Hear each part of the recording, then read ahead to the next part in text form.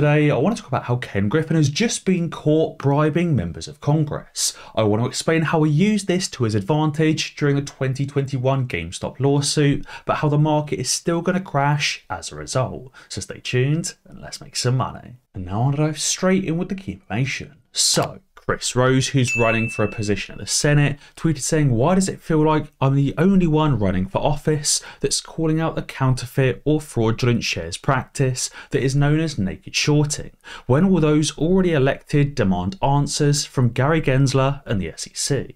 I think Chris makes a great point with this tweet. There are some people already in the Senate and others running for Senate positions that are currently calling for an investigation into synthetic shorting. But obviously, there are so many other politicians that let these crimes fly completely under the rug and ignore them at all instances. But so why is there this disparity? Why is there some people in the Senate that are convinced naked shorting absolutely does exist, but others that think it's never happened and never could happen? Well, as RJ tweeted, he said it's because your colleagues profit from it and are actually paid by Wall Street thieves who profit off the backs of everyday Americans. Now, the Wolf has actually come with some receipts of exactly who in the Senate and who in Congress Ken Griffin has bribed. He tweeted saying, obviously, these people at the Financial Services Committee will never call upon the SEC, Gary Gensler, or the Department of Justice to investigate such crimes. And it's not just synthetic shorting, spoofing, and many more underhand tactics that are being used to destroy businesses and the retail investor. This says that on February 18th, 2021, Ken Griffin testified before the House Financial Services Committee to address his role in the GameStop controversy. But it says that Ken Griffin has donated money directly to four Congress people that are actually on that committee and that were actually in that meeting. And those four people included Republicans French Hill, Andy Barr, Ann Wagner, and Bill Huizenga. So Ken Griffin has been donating money to these specific Republicans to obviously fund their campaign and likely their lavish lifestyles as well. And that's likely why Ken Griffin was not charged of any crimes during this 2021 GameStop lawsuit and why he continues to get away with lying to Congress to this very day. It's because members of Congress are quite literally in Ken Griffin's back pocket. And this is likely why there's not more people in the Senate or at Congress that are calling out Ken Griffin's crimes. And also why there's such a split of people that do think synthetic shorting exists and others that don't believe it does at all. I do think there's definitely a conflict of interest in having the SEC and having members of this House Financial Services Committee effectively being funded by the hedge funds they're trying to regulate. That's basically the equivalent to workers in the prison system effectively having their salaries paid by criminals and prisoners themselves. There would obviously be a massive amount of bias in the way that prisoners are treated if the guards are effectively being paid by those very prisoners. But as Biggums tweeted, he said, Get ready, my friends, because the market is still going to crash.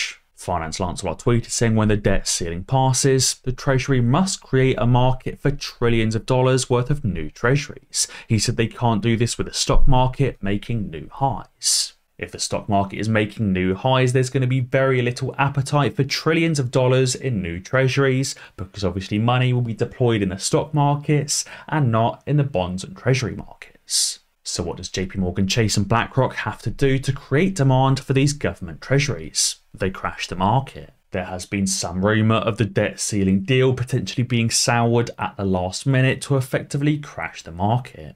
This would effectively be something that makes Joe Biden look even worse and effectively gives a way for the government to issue these trillions of dollars in new treasury bills. Also guys, be sure to sign up to Moomoo, the sponsor of today's video, by using the link down in the description below. You can currently get up to a whopping 15 free shares, which is worth tons and tons of money. Moomoo is also very easy to use, it's very clear and concise, and there's also entirely free commission-free trading. And funnily enough, the CEO of Barclays is basically saying the exact same thing, saying that banks will continue to tank the stock market. The CEO of Barclays has said that banks will likely continue to tank the markets as banks look to adjusting business models and selling portfolios to cure themselves. Basically, these banks that are struggling are going to be selling off giant portions of stocks that they own, of treasury bills, of bonds, and of mortgage portfolios as well.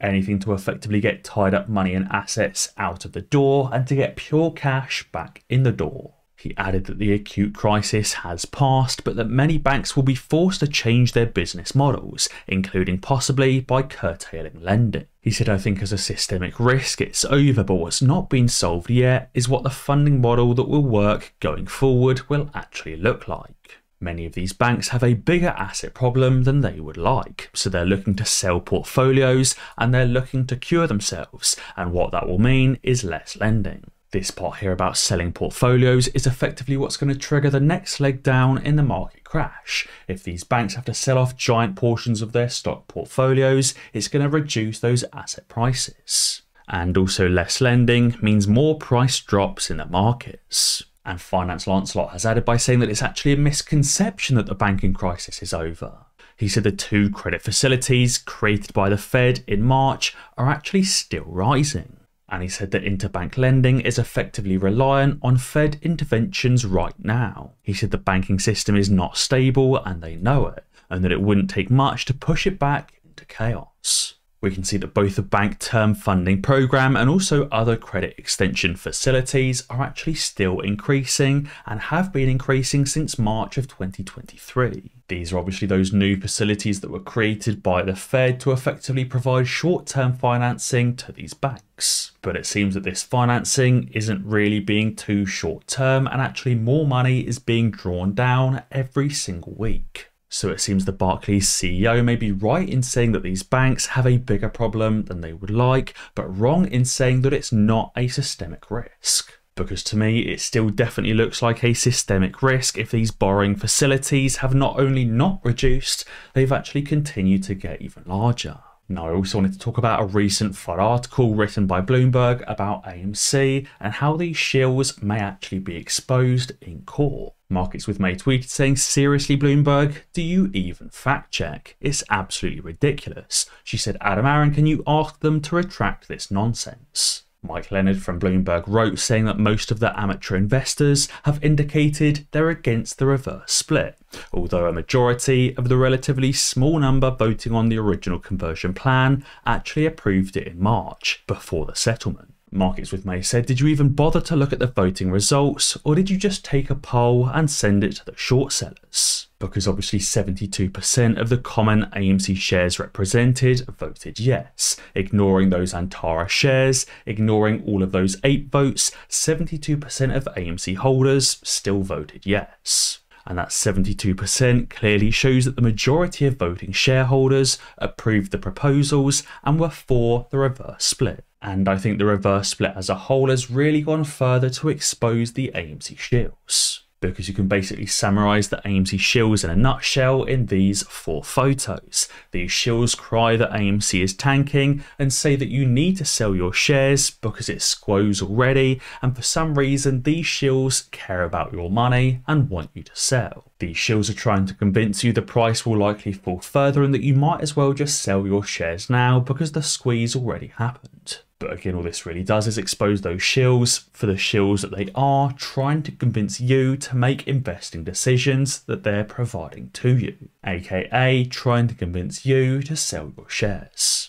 But interestingly, as Travis tweeted, he said all Judge Zurn has to do is cross correlate all the letters and find out the source of how these people are getting their false information. And then just subpoena those who are spreading false information or who the main sources are for that false information and throw the book at them or have them sing about their connections. All these shills are obviously getting their FUD from somewhere, so all you need to do is go to the source and find out who that source is working for. And that will be a brilliant way to expose these shills in court and find out exactly who's paying them to shill the shilling. So guys, be sure to let me know what you think down in the comments below. And as always guys, be sure to ding that notification bell because that way you'll be alerted when I upload a new video. Cheers.